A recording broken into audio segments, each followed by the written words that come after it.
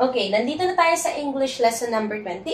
Dito pag-aaralan natin yung mga salita na twin sila. Pag sinabi natin twin, kambal. Kumbaga, pag sinabi natin kambal, identical sila or halos magkapareha na sila o halos magkadugtong na sila. Kaya tinatawag na twin words noun. Ano ba yung mga twin words noun?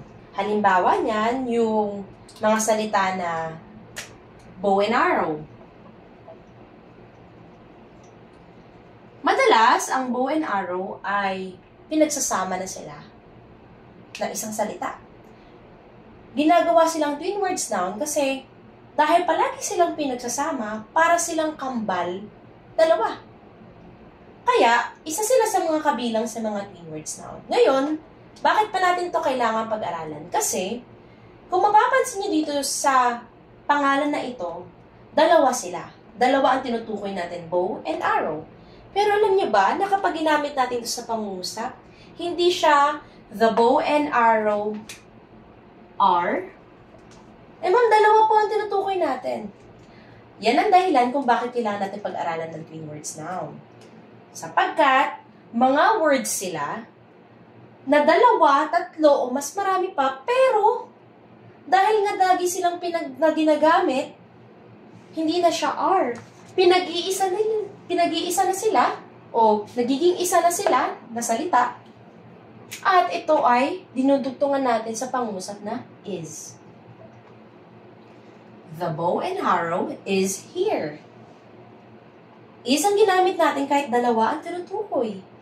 Dahil sila nga ay twin words noun o yung mga salita palaging ginagamit, kaya pinag-isa na lang. Kaya ang ginamit natin sa pangungusap ay is. Dalawa sila, or tatlo, mas marami pa, pero iisa na sila. Kaya, pang singular gagamitin natin. Okay? Ano pa? Good manners and right conduct. Manners and uh, right conduct. Mapapansin nyo din dito, dalawa din. Ilang words? 1, 2, 3, 4, 5. Good manners. Ang pinag-uusapan din natin dito, yung manners, yung conduct. Pero, twin words noun siya. Kaya, ito ay ginagamitan din natin na pang singular dahil marami man yung salita dito, kahit tumatlo pa yan o mas marami pa. Kapag sinabi natin mga twin words noun, sila ay yung mga pinag-iisa. Bread and butter, cat and mouse, ways and means, at marami pang iba. Kaya, kung wala kayong idea sa mga twin words noun, hindi nyo siya kailangan na i-memorize.